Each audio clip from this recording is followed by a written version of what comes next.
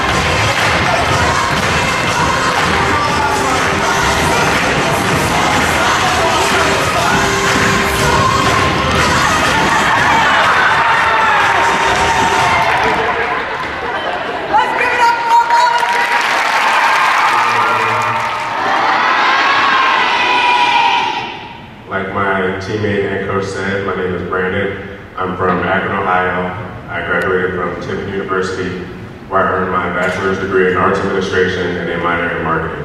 And this is my first year as an ambassador.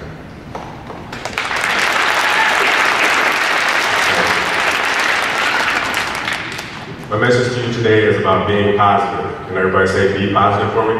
Be positive! Thank you.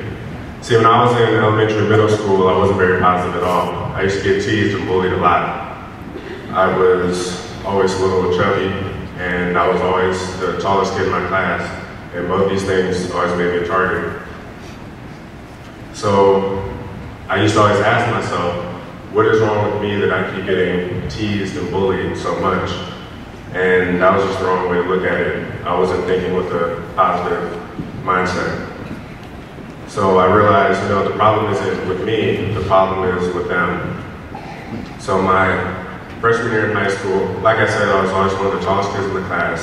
My freshman year, I was about 6'4", 6'5", and because of all the teasing and bullying, I never had the confidence to go out for sports. So my freshman year, I decided, you know what, I'm tall, I'm blessed, I'll go off the basketball team, I'll just be the best that I can be, and you know, what's the worst that could happen? So with a strong support system, a strong faith, and being positive, I've been able to achieve my dream of becoming a professional basketball player. And I also earned my degree in a creative field in arts administration.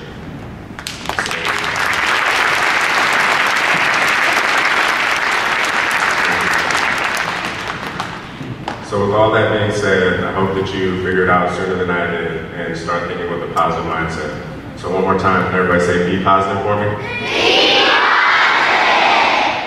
Thank you. I will now pass the mic to my teammate, Dion. Hello. Hi, my name is Dion. I'm from Chicago, Illinois. I attended Triton College where I earned my degree in business management. This is my first year as a Harlem ambassador.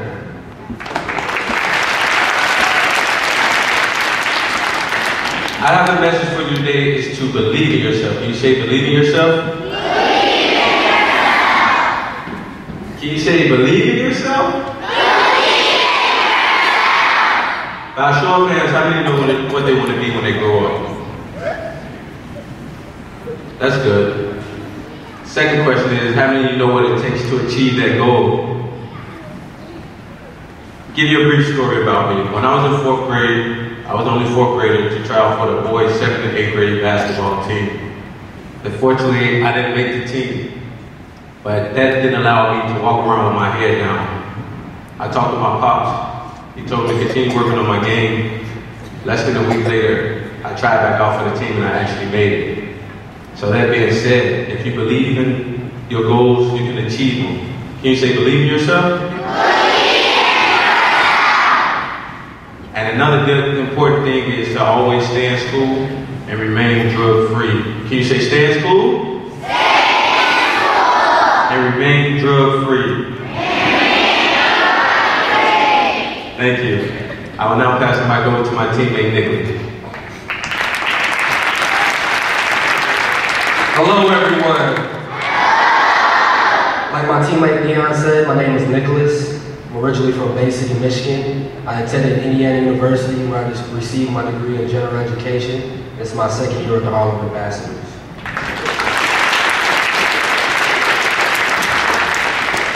My message to everyone today is positive people. Can you say positive people? Positive people! One more time, positive people.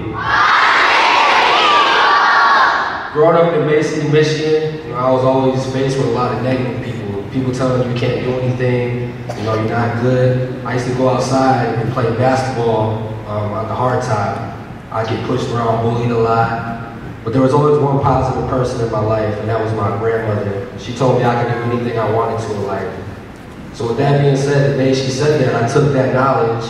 I went on to high school, I graduated, and I was able to go down to Kirtland, which is a community college, receive my associate's degree, and then I was able to go on to Vermont Technical College, where I received an academic degree, and I received a basketball scholarship as well. So I graduated, I ended, I ended up finishing at Indiana University. But all these things in my life, I became accomplished because I had positive people telling me that I could do anything I wanted to in life. So with positive people in your life and staying drug free and staying in school, you can achieve anything you want to in life. Now, people are going to tell you all the time that you can't do anything. Most of the time when people tell you that thing, those things, it's because they cannot do it themselves.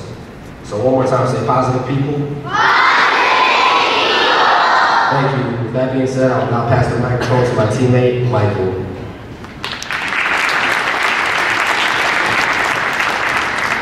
Like my teammate Nick said, my name is Michael. I'm from Oklahoma City, Oklahoma. I graduated from Oklahoma Christian University with a degree in exercise science.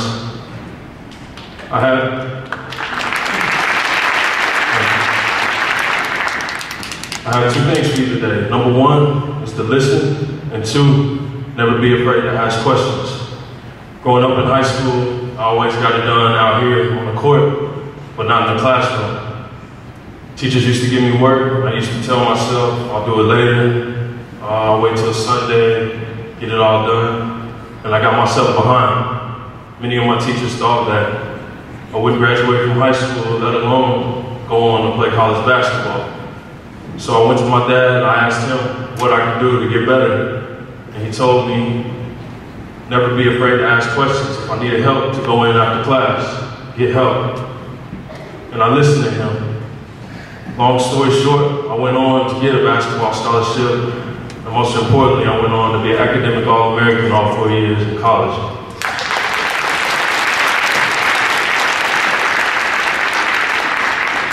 So with that being said, listen to your teachers, your parents, your friends, and like Nick said, make sure they're positive influences in your life.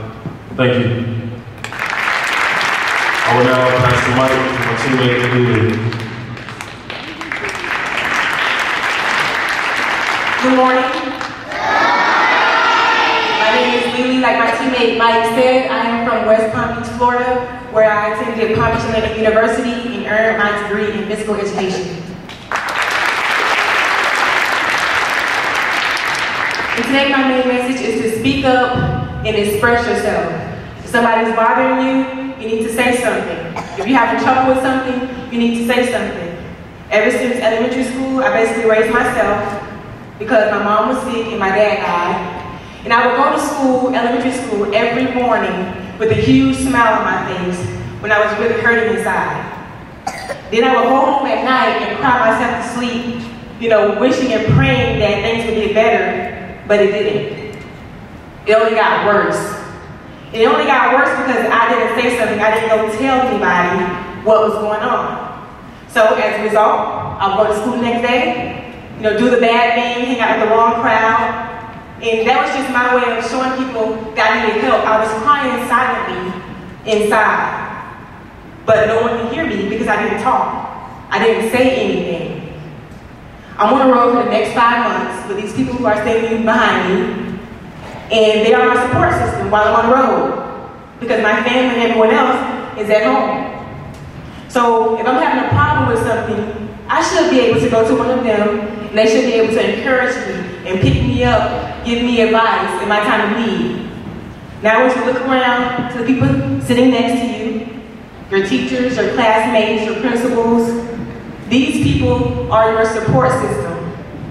If you're having a problem, you should be able to go to a friend, go to a teacher, or go to a parent to help you out. And if you go to another student and they ask you for help, and you can't help them, you need to tell them no, so they can get the appropriate help that they need.